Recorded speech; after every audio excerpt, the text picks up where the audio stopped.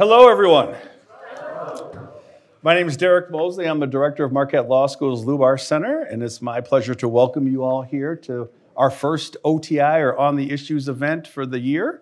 Um, our uh, program theme is uh, museums and uh, arts funding here in the state of Wisconsin.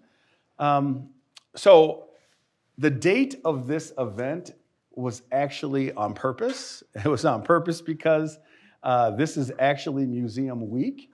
Um, for those of you who aren't familiar, from uh, January 18th to January 28th, um, over 30 museums and galleries here uh, in the area are uh, offering free admission or at least 50% off admission into, the, uh, into their institutions.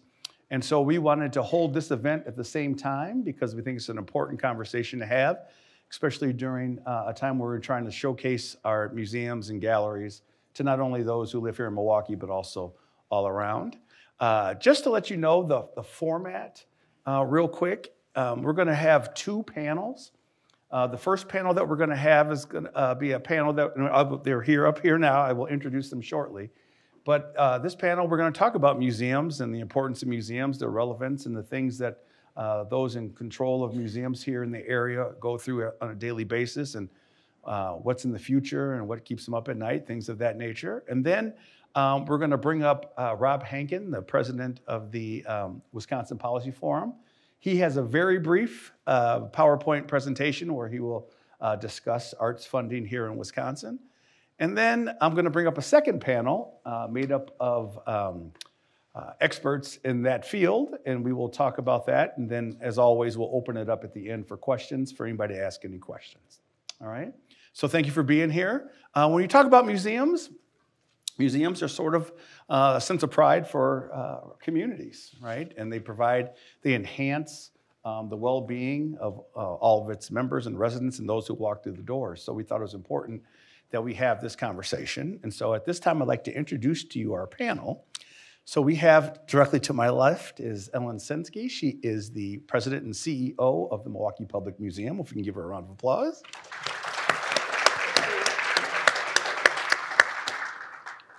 To Ellen's left is Clayborn Benson. Clayborn Benson is the executive director of the Wisconsin Black Historical Society. So, welcome, Clayborn.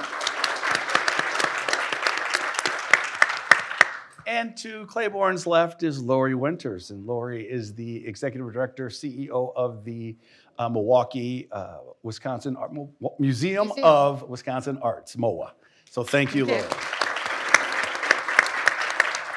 So to get started, I think it's important because it is museum days that we talk a little bit about each of your museums. So, Ellen, if I could start with you, tell us, first of all, about the public museum, but also what do you hope people get out of the museum when they show up at the museums? So, first off, how many of you already know about the Milwaukee Public Museum?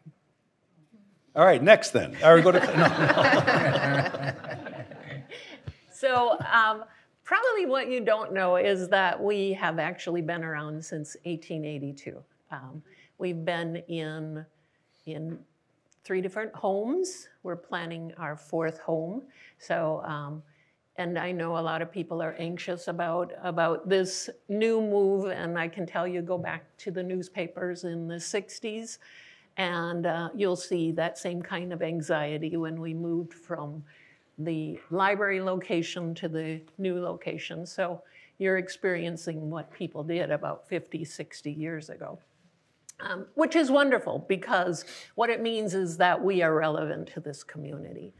Um, what do I hope people get out of the museum when they come is really, we want to inspire you to think bigger, think more broadly, to, um, to be, uh, to, to think, especially we want to inspire kids to think about what they could be.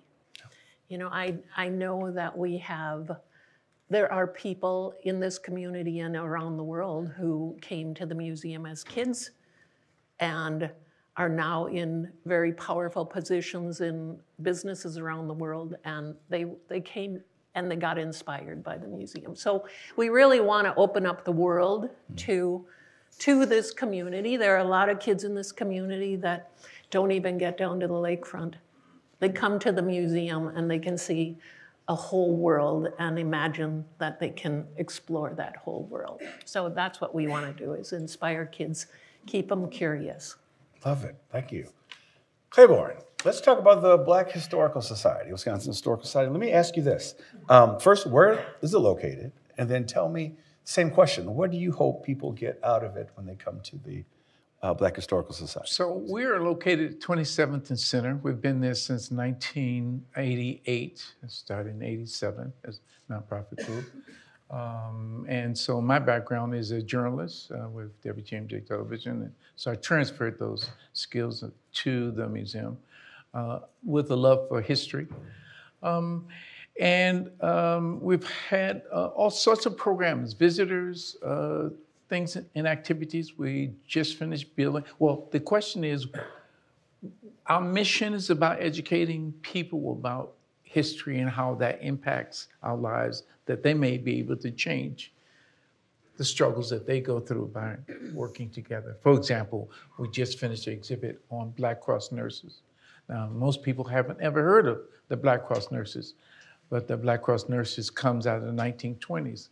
We encourage people to write uh, and in that uh, process of writing, we discovered a, a, written narrative that this woman in 1920 wrote about life for African Americans in the 1920s. Uh, she also had photographs that came along with it, and she was a member of the Garvey movement. Uh, and so they were facing struggles with tuberculosis and how that impacted African Americans. Uh, and so uh, European doctors and nurses were reluctant to go into people's homes. Uh, and so they were more comfortable with going to the Urban League and public institutions as such. Uh, the Black Cross nurses took it upon themselves to step up to the plate, to become educated and to go in people's houses, wash their dishes, take care of their kids, clean their houses up, and treat them for tuberculosis. And, and even when they ran into opposition with the leadership of the Marcus Garvey movement, they pressed ahead because, as the name of the exhibit is Do for Self, educating people about their responsibility to take care of each other, these nurses did for themselves by treating a whole population of people with tuberculosis. So, what does that mean for today? We just came out of COVID and the problems that our people have gone through. The diseases are very similar. And so people learn from that experience of what people did in 1921. That is one of the many things. And we had Kwanzaa. Uh, we had the largest Kwanzaa activities in the state of Wisconsin. And uh, it helps people to find some identity in who they are. They're Africans living in America and the struggles that they go through and they use in negotia those principles of the negotia to structure their lives in the way in which they live. Kujichagulia and Jima, all of those principles, those Kiswahili words that inspires people to get them up off their butts and move ahead to accomplish the things that they want to do. And then most recently, we just did exhibit on Barbee Street, which is a small neighborhood. Money's come out of uh, money's come out of the federal funding to build and to restructure homes. 44 homes were built, and these people have they share. These are white, uh, African American, all under the name of Lloyd Barbee. And what Lloyd Barbee did, you know what Lloyd Barbee did. Uh, he addressed the issue of education. Uh, African Americans migrated to the North with the idea that they want to educate their children to be good citizens and to be able to provide for themselves. And it's Lloyd Barbee who recognized that Brown versus the Board of Education was not addressing the issues that African Americans had, and he sues. It's just a national issue that it takes place in Milwaukee, but it impacts every city in the United States. Lloyd Barbee addresses it. This neighborhood reflects his struggles, integration, people and neighbors caring about each other, supporting each other. And we did that exhibit as well. Can, if they can do it, other neighborhoods can do it. I've talked too much. No. I, I uh, so, so, I have a, a Black History speech here uh, coming at the end of February. I'm like, okay. stop talking all my information. Laurie, could you tell us uh, about MOWA, please? Yeah, absolutely. Uh, so I am the executive director of the Museum of Wisconsin Art. Uh, we are located about 45 minutes north of downtown. And in the, the, over the last decade, we've gone through a pretty dramatic transformation. Um, in 2013, we opened a new new building. New building. The the prior one, uh, well, the, the founding of the institution took place in 1961. So the museum had been around for a long time. Very few people heard of it because the museum had been a kind of uh, community gallery. Uh, and then in 20, uh, 2007, the board of directors decided to grow the institution and to move from a collection that was late 19th century based to a collection that reflects our contemporary world. And with that was a complete transformation. Uh, I was hired to become the executive director, which I did in late 2012. We opened our new building in 2013. And uh, I'll just give you a few numbers because I think that tells you everything you need to know. Um, in 2012, before we opened our building, we had 2,900 visitors to the museum. Last year, we had 225,000 visitors. Wow. In, great. In uh, 2012, we had 647 members. Today, we have 10,000. So uh, we are located in a small, charming community, but our audience and uh, reaches throughout the state. Um, we embrace Wisconsin. That makes us unique uh, in that um, our entire collection. I often get this question: "So is your collection, you know, by Wisconsin artists?" And the answer is yes. We celebrate Wisconsin. We take great pride in that, and we tell a history that starts around 1840 up to the contemporary moment. And with that, we do about 20 exhibitions a year. I'm really excited about how we've evolved over the over the years, how we've changed, and how we now have this greater reach that embraces the place where we live.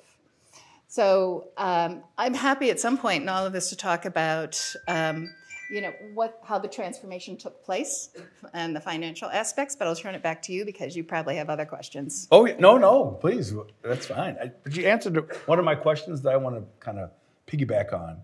So, um, Clayborn, how many people come through the doors at the Black Historical Society? Clearly, not enough. we, I can't even talk about competing against the numbers in which you you, don't just have to given. compete. No, But that's the whole point of museum days, right? they'll So- come in for programs. Uh, our Kwanzaa program. I mean, obviously, you, it's standing room only, and and every floor in every room, even when there is no visualization of what the program is, they are there. But uh, on on a day in and day out basis, people who come don't come to the museum on a regular basis. They feel that they know it already, rather than hmm. they think they know it. Well, the Wisconsin Black Historical Society is on the list of museum days, so please take the opportunity to take a look. I know I enjoy it, and I've been there many times with you. Ellen, any idea how many people come through the door of the Milwaukee Public Museum?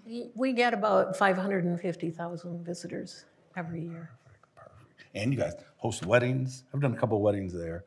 We That- do. that was kind of- We do. It's a great place for a wedding. It's a great space. It's a great space. So I need someone, and this is to the whole panel. Why are museums important? What is the relevance of museums today? You want to take that, Laurie? Oh, that's such a loaded question. It is. That's why I gave it to you. There are some of us who believe very passionately about museums, and we, you know, we live and breathe the understanding of why they're important to communities, to um, reach all of our communities, and to, embrace all of our communities.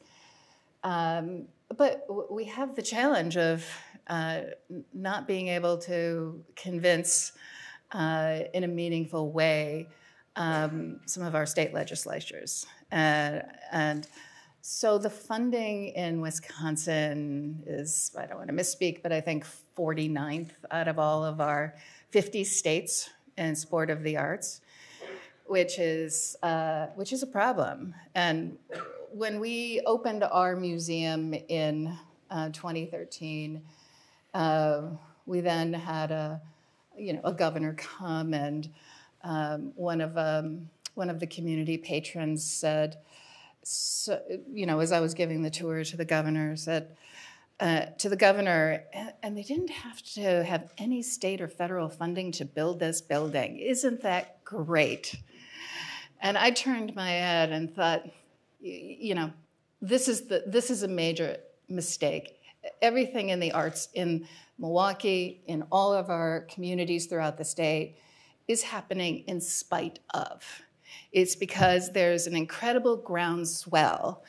And uh, unfortunately, our politicians haven't caught on to the fact of how important it is for youth education, for embracing all of our diverse communities, for economic development.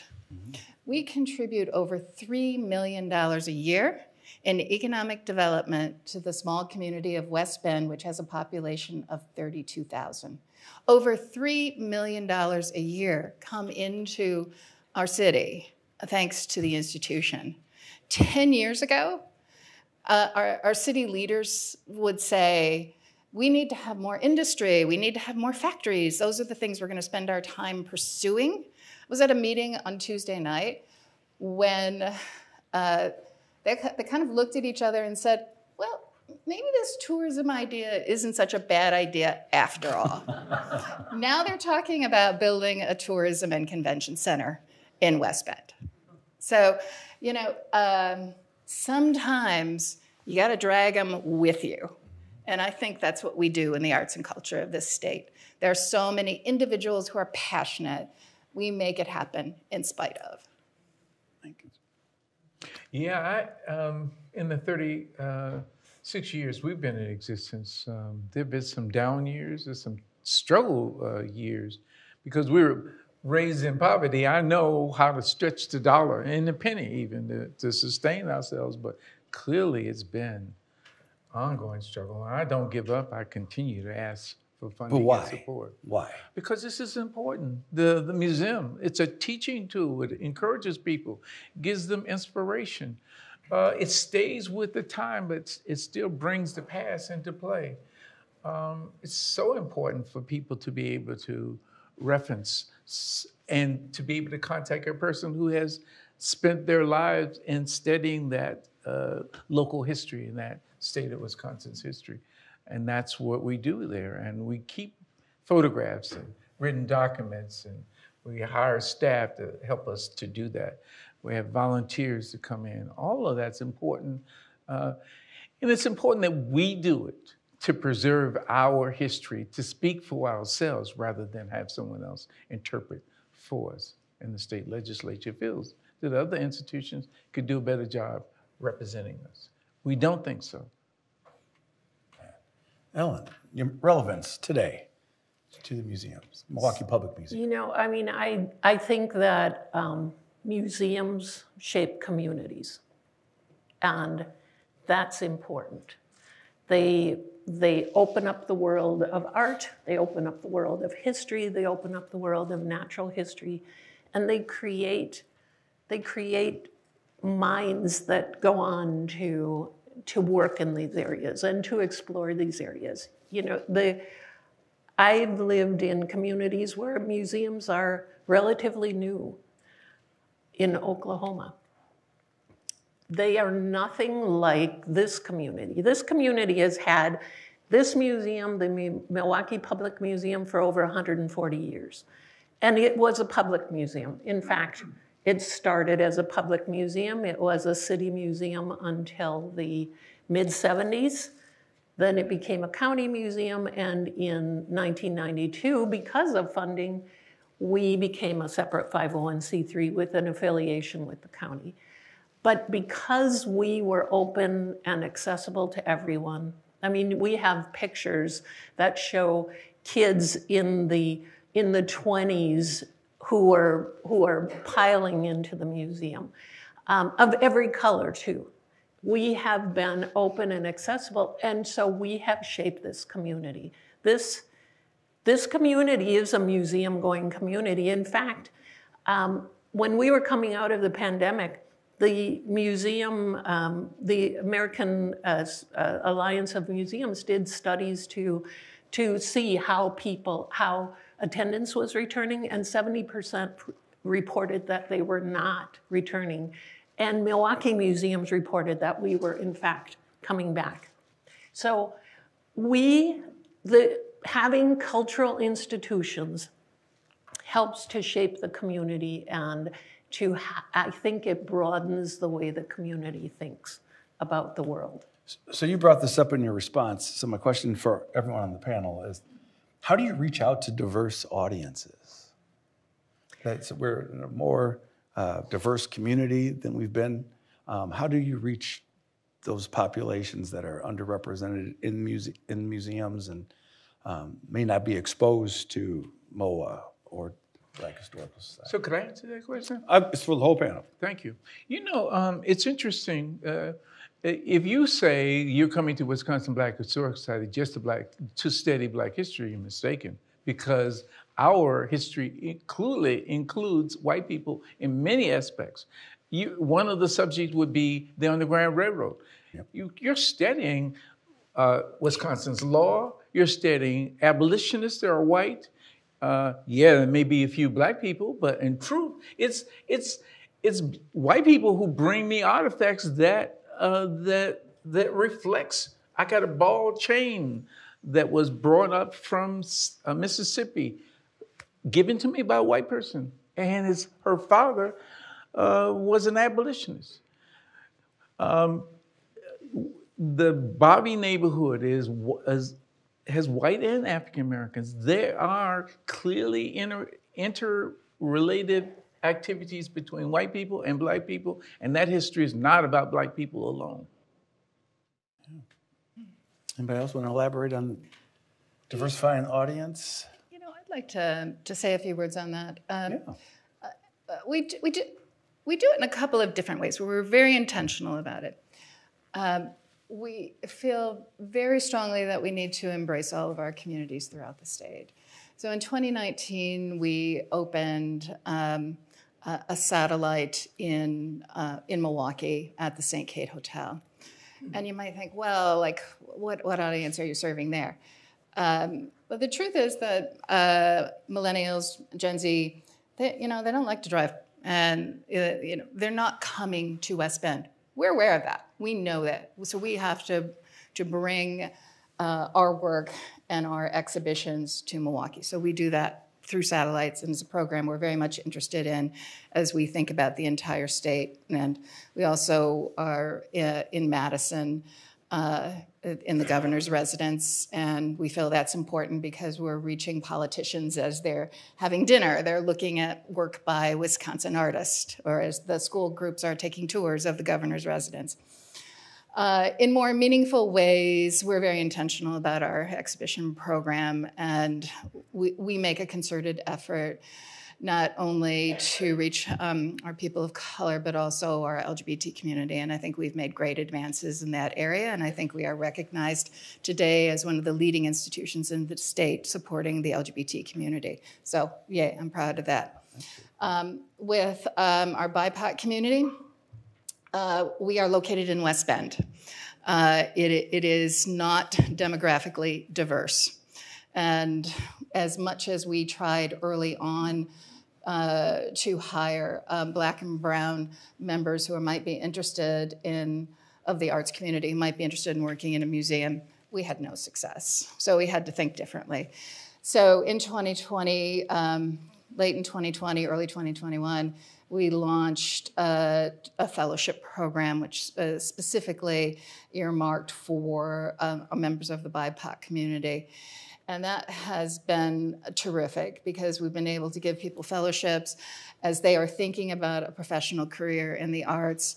Uh, as it turns out, I mean, once people become familiar with the museum and what we're trying to do, and we're embracing all of the state, they, they come to identify with the museum and realize that hey, we're actually trying to do something important here and have become now full time permanent employees of the institution. So that's exactly what we want. It's slow, but it also, it's a slow process. Uh, but it has allowed us to um, expand, you know, the look of the institution in ways that I think are really meaningful. Thank you.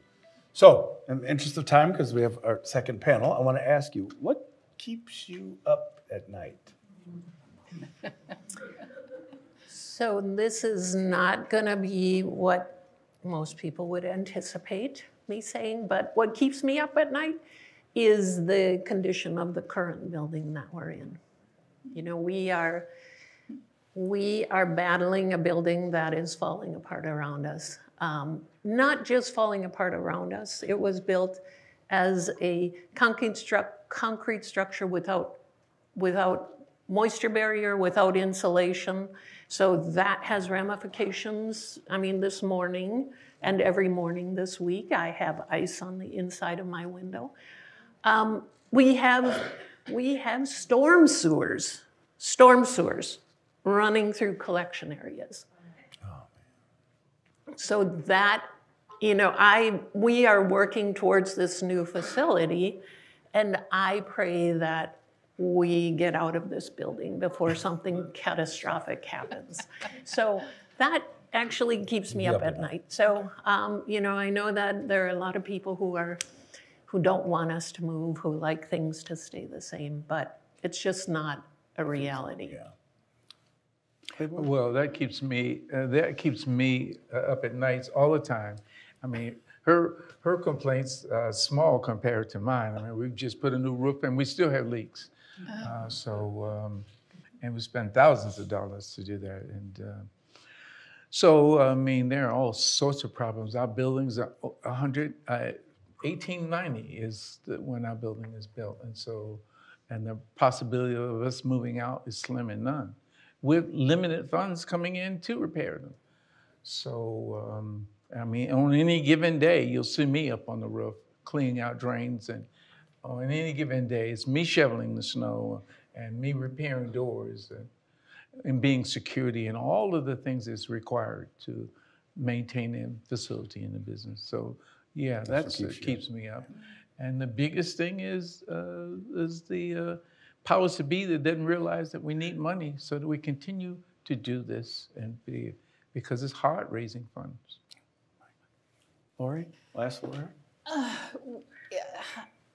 I worry about, I actually spend a lot of time thinking about the future of the museums. Are museums still going to be here in 50 years? That's the question I have. I have a hard time, uh, you know, I believe so passionately in museums and the importance of them, but, but it's hard to articulate that when there are so many social needs in, uh, in the United States today. And I somehow we have to do a better job of, of articulating that. Uh, you know, I'm, I'm a museum director today because I was a kid on that yellow school bus that pulled up in front of a museum in Toledo, Ohio. Great museum, by the way. And, and I saw my first painting by Cezanne when I was in the fifth grade. I still remember that experience today. And I still remember the docent who explained it. And it was, it, it was like entering into that painting, a beautiful landscape, and understanding that there were other worlds, not just the world I lived in, but a broader universe. Yeah. How do you teach that except through art? Yeah, absolutely. Can we give a round of applause to our museum panel, please?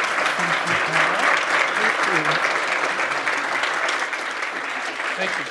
I'm going to call our second panel up, and while we do an exchange of uh, microphones, real quickly, um, I'm going to have Rob Henken from the Wisconsin Policy Forum come up. He's going to do a very short PowerPoint presentation about the second half, what we just heard about funding being an issue for museums and the museum panel.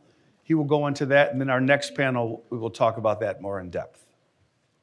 Thank you, Derek, and thanks to all of you. So uh, this is the commercial break in our programming where I uh, nerd you out a little bit. We're gonna we're gonna nerd out with some data slides and then get back to the much more provocative uh, conversation with our with our next panel.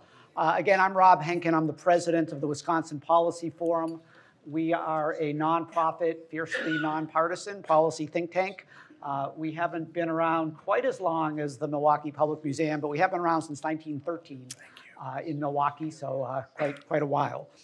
Uh, we produced a report, um, first of all, in the summer of 2020. So think back to the summer of 2020, not too long ago, the, the heat of the, the heart of the pandemic. Uh, we did a series of reports looking at how the pandemic was impacting and threatening various segments of our economy, uh, as well as local governments and school districts. And we did a brief report on the impact on the arts and culture sector.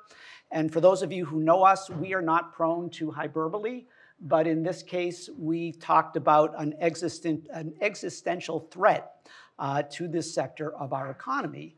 Obviously, a sector that is so reliant on citizen attendance and participation and think again back to the summer of 2020 and the uncertainty surrounding whether people were going to continue to come to performing arts venues and museums and zoos, et cetera. Um, and, and it really was an existential threat in, in our view. Um, in uh, April of 22, we then did an update. And we found, somewhat surprisingly, that that existential threat, at least temporarily, had passed and that the situation was not as bad, certainly as we had feared, and maybe not even as bad from a real macroeconomic perspective as we thought we would find. Um, and so um, there's some reasons for that, which I'll get into in just a second, but I was asked to then update that data. Um, so again, April 2022 was the last time we looked at it, so I'm able to update it um, now by almost two years. So let's get into it. One of the things we looked at was the number of arts and cultural establishments. This is statewide. What you are seeing here, and I know it's going to be tough for you to read the small letters at the bottom, the, the turquoise line is um, we're tracking uh, a grouping called Independent Artists, Writers, and Performers this is not every independent writer. This is, in, in, this case, it's an independent writer who specifically writes on arts and culture, and, and the same with the others. So um, this is one grouping within the arts and culture sector. Um, performing arts companies is the darker blue, and museums, historical sites, and similar institutions, that includes zoos and, bot and botanical gardens, are the orange. And so here, this sort of illustrates what I said before, maybe not quite as bad as we had feared in terms of the loss of the number of such establishments. But here's now where I'll get into one of my key caveats. One of the factors that was so helpful was the existence of pandemic relief money from the federal government. And so I don't think there's any question, and I see Clay nodding his head, but I, I mean, this is what kept many of these entities going. Uh, we are only able to take uh, us through the data through calendar year 22. And um, for the most part, pandemic relief money was still helpful in that year. So it'll be interesting to see what this looks like in 2023 when we get that data. Um, but again, as of the end of 2022, this was the picture in terms of the numbers of establishments. Uh, we took a look at, it, at employment, and here we're using the same three categories. Again, the turquoise, independent artists, writers, and performers, uh, the navy blue, performing arts companies, uh, the orange, museums, historical sites, similar institutions this huge plummet as, as would have been expected, but boy, it's, it's really noticeable uh, in 2020. And by the way, this is not as of December 31st, this is taking the 12 months average for each of these calendar years, uh, employment in these subsectors. Um, you can see that while we saw the recovery that we all would have liked to see, or some recovery in terms of employment, still not back to where things were prior to the pandemic. And here too, once we get the 2023 data, will be interesting to see if that upward trend continued. We took a look at the economic impact of arts and culture in Wisconsin. Uh, these numbers are in billions. Very important to note that they are not adjusted for inflation. And so you just look at these numbers, you see, and, and here we only have the data through 2021. Uh, this is a very rigorous analysis actually put together by the US Bureau of Economic Analysis. And so you just look at these raw numbers, and you say, okay, you see that, that downward blip as would have been predicted in 20. And, and boy, 21, we, we, we're, we're up again over 2019. Of course, this is not adjusted for inflation. You probably, if we had fully recovered in, at the end of 21, you would have wanted to have seen a higher number because inflation had really started to grow. But suffice it to say, again, some recovery. Uh, in case you're wondering, if you took, take a look at the state's total GDP Uh, in 2020, uh, the arts and culture sector was about 2.8%. And, and that's a fact that many people don't quite understand. We all know the value of the arts for the many reasons that I imagine all the people in this room support the arts. But as a key sector of our economy, the arts um, often get overlooked. And final slide, um, we've touched on this one already. Um, sorry to say, we're no longer 49 as of FY23, we're 50. Um, and, and not only are we 50, but we're 50 by a pretty sizable margin. We're just comparing here to the, the orange is the 50 state median, the blue is our, our Midwestern neighbors. Um, and so this is just state funding. This does not include county or municipal funding. The Public Museum does benefit from about $3 million a year, I believe, still of county funding. Uh, so that's not included, and I'm not saying that that's going to change the picture very much if we included the local funding. Um, but that's one caveat. Another caveat I would just point out to you is what would it, let's say that we got ourselves up to the 50 state median that would probably result in about an, another $5 million of state support for the arts. $5 million is a lot of money, but when you think about distributing that among um, all of the arts groups within the state, that's, I, again, so even if we're at the median, I'm not going to suggest that government support um, is, is potentially the savior here, um, but clearly telling. And, and, you know, what it says about you know, what we prioritize here, that, that in terms of state funding, uh, we're dead last. So with that, I'll stop nerding us out. Rob, thank you. All right, so I'm going to quickly introduce our panel. We have Adam Braatz here, who is the executive director of Imagine Milwaukee. We have Chela Garcia, who is the executive director of the Walker's Point Center for the Arts. And we have my good friend Polly Morris, who's the executive director of the Lynden Sculpture Garden. So we've heard from Rob, we've heard the numbers, the raw data. Um, how do we get here?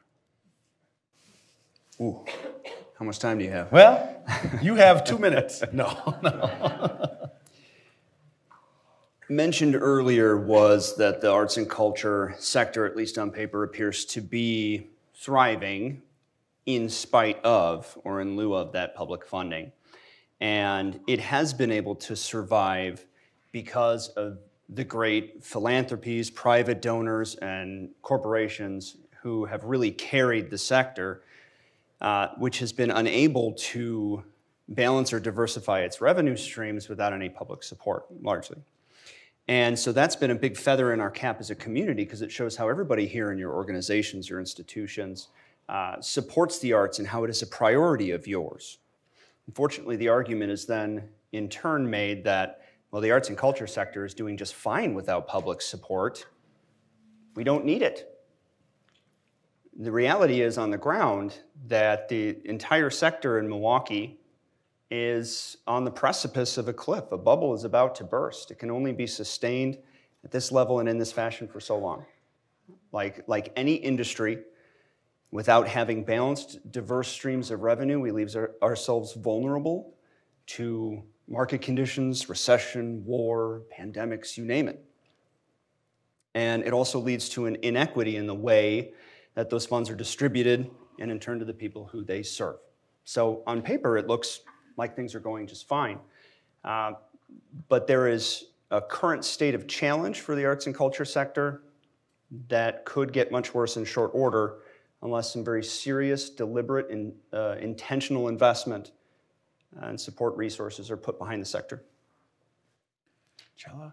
Yeah, I, I absolutely agree with that. And I think that, you know, the comparison that we saw, um, our neighbor across um, the, the state in Minnesota um, was really creative in the way that they structured a continuous stream of revenue from a um, you know, government funding side. You know, they paired their, um, they structured in a way where their arts was embedded with access to outdoors, so parks, as well as water. So being able to tie the arts and the role that it has in the well-being of people, of like the outside, water, and you know, beautiful things in this world, I think really shows just the discrepancies of what we have in the creativity and vision for folks that are legislating in our state.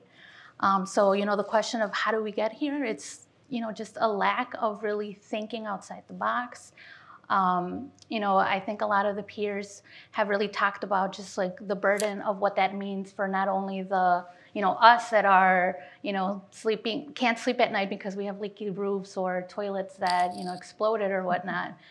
Um, but really it's this idea of how can we continue to rely on the community. So for example, um, so Walker's Point Center for the Arts is a small nonprofit organization. Our budget has historically been hovering a, a little under $300,000. So in the spectrum of organizational budgets, tiny. Um, however, the impact, you know, so to going to that uh, idea of how do we articulate the value of it, you know, just really thinking about ways that we can talk about the arts not being separate of health, not being separate of um, youth development, leadership development, healing. You know, I think that um, during COVID, a lot of the organizations that were very much community grounded were seen as a funnel to be able to access the communities that were at the margins. And I think that really presses a lot of um, urgency around how are we as folks that are serving our communities, that are structuring programming, how are we including those who have been inter, you know, intersectionally marginalized historically? And until we really get that correct, then you know the, the value aspect of things are just going to sit in figures. Um, I think it's really important to talk about the people, the stories, um, because when we humanize what it means not to invest in the arts, it really is a lack of investment in communities. Now, Paula, you actually, um, we've talked about this, and um, you said that we had a chance to do what Chela was talking about. Can you kind of paint that picture for us? Yeah, well, I think what we were talking about is back at the end of the 20th century, I wrote a report with Lynn Lucius, who many of you know, about the possibility of starting a local arts agency in Milwaukee. Uh, and the research we did really confirmed that if you had missed the boat in the 60s or, or, or 70s when you could have created an arts agency within the municipality with a seat in the mayor's cabinet and a dedicated income source, uh, usually from co- some kind of tax revenue. It was extremely difficult to work backwards from that situation and regard arts, culture, parks, all of those things holistically and at a policy level. And I think we've been struggling ever since and I think, you know, one thing, every time I hear this, you know, we're 49th, we're 50th. When I first started working in the arts here in Milwaukee more than 30 years ago, it was the same rallying cry because we were in the same place. And I feel like this is an outmoded argument. I mean, I think COVID showed us that, that money, government money, not state money necessarily, though there was state money, came in and it was transformational. And for a place like Walker's Point or a place like Lynden, which opened to the public in 2010, um, you know, we could sit there and say, okay, what do we want this place to be? And we invited people in. We invited in particular communities to help us de- define this place as a resource. And we ran it as a laboratory, and we still run it as a laboratory. Um, because museums can't exist without art museums can't exist without artists and without communities. So I think when the pandemic came, we were an outdoor space in Milwaukee that people could come to and use as a place to, you know, meet up with other kids, to have business meetings, to lie out in the sun. So we opened our gates immediately after the lockdown because people were just coming in. We waived admission removing all barriers to participation. And you know, we saw people coming in and defining how they wanted to use this resource. And you know, we have this, you know, quite wonderful collection of 60s and 70s sculpture. We have this beautiful landscape, and we have artists from lots of different communities working on the grounds and with us all the time. So um, I think that we need to look at how we relate to communities and, and how we think holistically about how we fund things. But I mean, the other thing I would say about the state money is it has hidden implications for small organizations in this city, one of which is that it often reduces the amount of money we get from the National Endowment for the Arts because we're not matching what we need to match for the regranting. And the other is that Milwaukee is a philanthropically conservative city. Most of the foundations are private foundations, not public facing charities. Um, if small organizations 501c3s receive too much money from private foundations, they tip over out of public charity status into private foundation status. And because we don't have enough government money to match the amounts coming in from generous foundations, like the, you know, Greater Milwaukee Foundation is a public charity, so it's different. But uh, most recently, Ruth Arts Foundation, you know, they're, they're putting a lot of money into the local arts ecosystem, which is wonderful, but it does create a, a, a problem for organizations that can't then match it with public funds. So Chela mentioned it a little bit. So when, when you talk to the average citizen and you talk about monies and you talk about budgets, people understand police, they understand fire, they understand education. How can we get them to understand the arts? I think it harkens to uh, some of the responsibility that the arts and culture sector has in this current situation is in the storytelling and how we tell the story about the value of this sector and the artists and the artisans and the creatives who work passionately and diligently to make our world a better place. Um, the way that we tell this story doesn't necessarily reach all ears. We have to diversify the way that we tell the story about the impact of this sector so that other people understand that the arts are not a frivolous nicety if they don't get it per se. Uh, that there are actual educational outcomes, there are public safety and health outcomes, that there are economic outcomes, that, that being a, a, a hub of young, diverse, creative, professional talent is the, the foundational pillar of inviting industry and investment in an area, so economic prosperity is dependent upon it. Um, we have to diversify the way that we tell the story. For people here who love the arts and culture, who get it, we know that the, the, un, the intangible, the non uh, numeric value of the arts, but some people just, that doesn't resonate with them in the same way. And if we tell the story about impacts and outcomes, uh, it, could, uh, it could change the tide but it's a big lift because the story's been told in one way for a very, very long time, in, in this state in particular. Until you mentioned it in regards to having it being a part of the a holistic approach on arts and water and um, I don't know for a fact. Is Minnesota that way? Is that the way they do it? Are you yes. aware? Okay. Yeah. So they, they were able to like the the way they packaged that um, revenue stream was bundling it in there, uh, which I think really brought attention, you know, bipartisan and just a lot of um, uh, lobbyists that were really in favor. So of course, if you're who wants not clean water, right? So there's no way that that would have um, not gone through.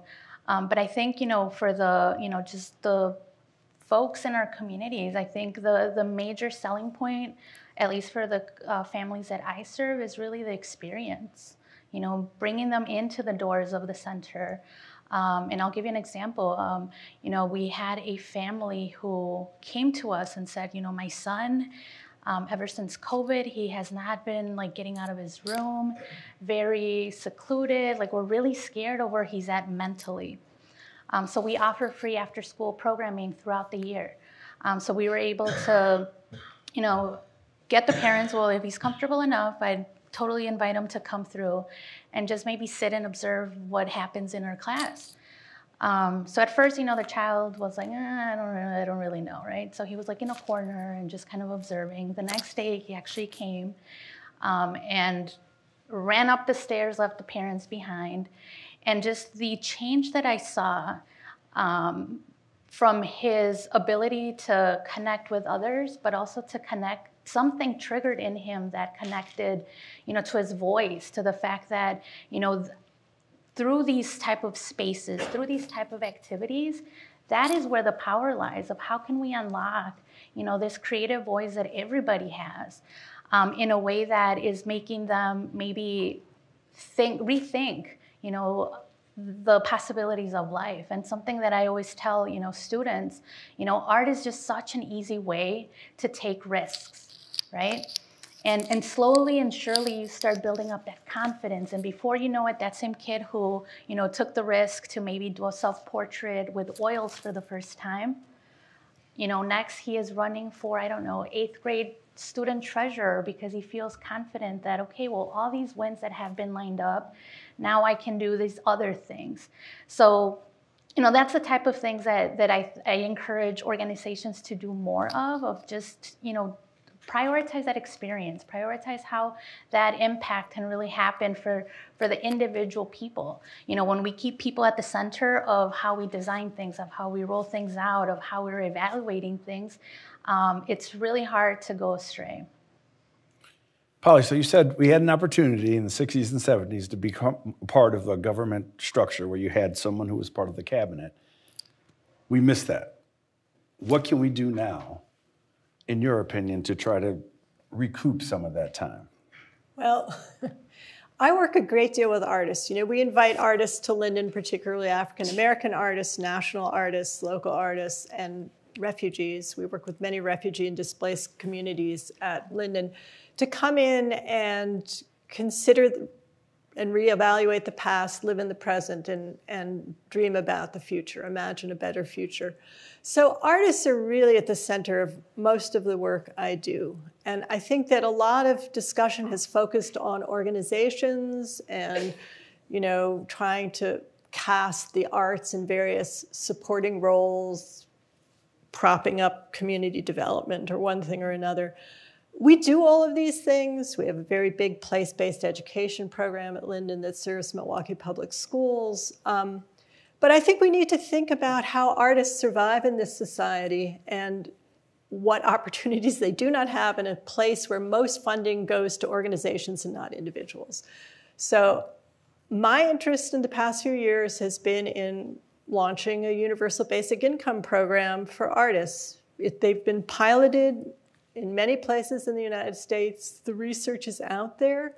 I think for relatively small amount of money, you start moving the needle on how artists survive in this country. One of the things we do out of London is uh, out of Lynden is run the Mary Nohl Fellowship Program. Greater Milwaukee Foundation originally funded it, still funds it. We get some other funding. Um, and this year we just appointed five fellows. They were chosen by jurors from around the country. They range in age from 22 to 82, very diverse group in all ways. And when we were working on paying out the first payments, two of the artists, uh, you know, we had to work with them to try not to destroy their food share and BadgerCare uh, benefits in order for them to get this money.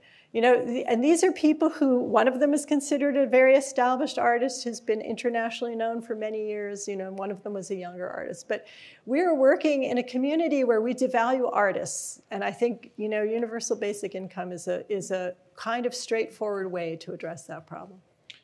You also mentioned something that I don't think people are aware of uh, artists in residence within the, the government structure.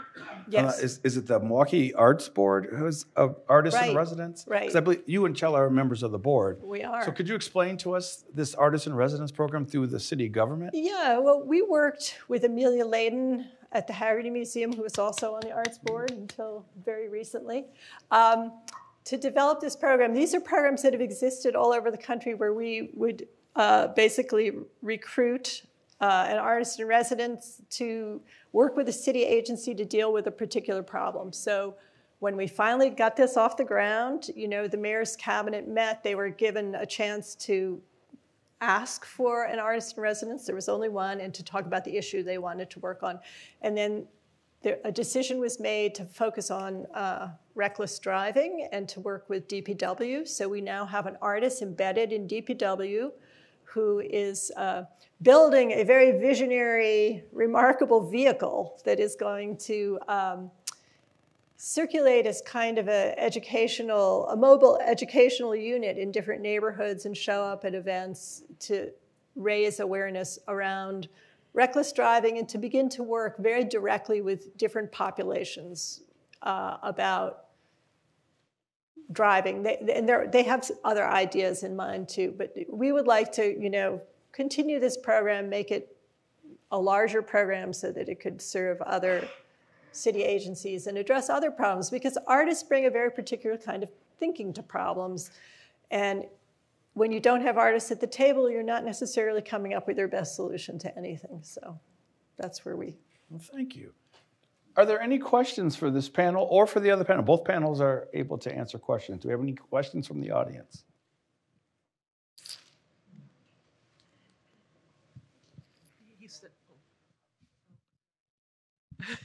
um,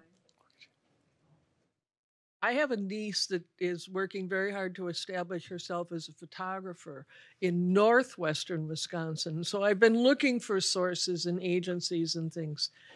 And it's even worse out there. She's to the point of wanting to establish a residence in Duluth because then she'd fall under Minnesota. There's very, very little for individual artists. It's in the rest of the state. It's even worse, and it's bad here. I'm not. Mm-hmm. So it, it's it's a huge problem. We're losing people.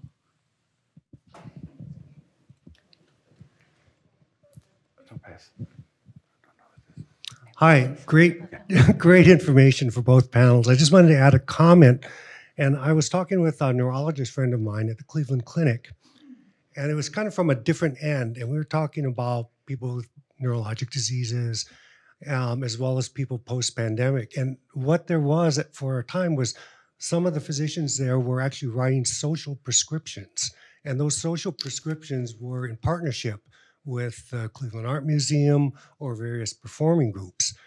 I I didn't um, I didn't ask like, well, how does the funding work or anything like this, but I think it's a direct connection um, going back to kind of health and wellness uh, of the arts in, in general. Chell, you wanted to comment on the um, Northwest Wisconsin Yeah, so I think like not only are when we talk about the uneven distribution of resources, uh, we also see that reflected in rural uh, aspects here in the state. So that is definitely one of the things that for anyone who's involved in art advocacy is on the radar.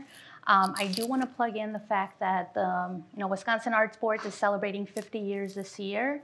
Um, so uh, as we were thinking of a pun uh, or a tagline, um, you know, we jokingly said, well, imagine that we're celebrating 50 and we're 50th in the nation. But that did not, we did not print that in tote bags, okay? not too late. But it's not too late, right? Um, but, I, but the reason is that as we were doing a kind of a retrospective of where has you know these dollars been invested in what communities you know i'm chair of the uh, public uh, external relations committee so i get to hear and read a lot of databases as to you know where the monies are being piped into. Um, we are working really closely with that data to identify communities that have not received any type of, of money and prioritizing that. So we're setting aside a pot of money to be able to at least during this 50 year um, be able to invest in communities that have maybe don't have the infrastructure to apply for the grants that have been there. But I think that's really about getting in the fold of things.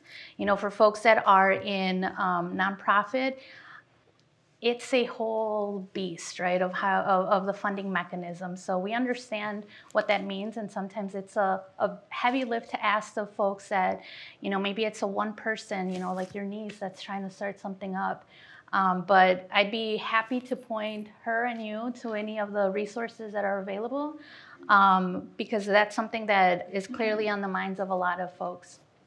Well, the National Endowment for the Arts is just, uh, they have a grant due today called Arts Here, which is a pilot program because though they've worked for many years to diversify the organizations that they serve, they have not met their goals. So this is a capacity building grant for organizations that serve diverse po populations, and they're just trying to get in there and do the research about what they need to do to make sure that, you know, geographical diversity, race, ethnicity, poverty, all of these things. So, well, I would like to uh, ask everyone to give a round of applause to our panel.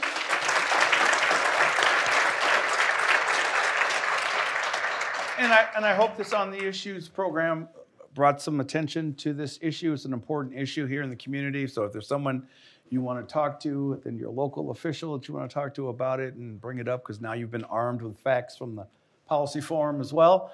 Um, I know that uh, the Museum of Wisconsin Arts has material up here up front. I know that the uh, Black Historical Society as well. I believe also Walker's Point has some material here. It's gallery night and day, so make sure you make your, your hops throughout the city. Um, there's tons of cool stuff. Stop by Walker's Point Center for the Arts. We have two exhibits that are opening today. Hope to see you all there. Perfect. And just to remind you that uh, at the end of the month, January, we have our uh, Get to Know program. It's going to be with uh, Peggy Williams Smith. She is the CEO and president of Visit Milwaukee, and we will talk about various things there. February program, we have a Get to Know with uh, Cecelia Gore, who's the president of the Milwaukee Brewers Community Foundation, as well as I'm hosting um, a Things Your History Teacher Didn't Teach You Black History uh, lecture as well here at the Lubar. Um, so please, uh, emails going out this afternoon, I believe. Uh, I would like to thank, as always, Hillary DeBlois, the program manager And I want to thank all of you who came out today. Uh, we had a little snow this morning, but you still came out here and it was cold, so thank you very much. And we look forward to seeing you in future programming. Thank you.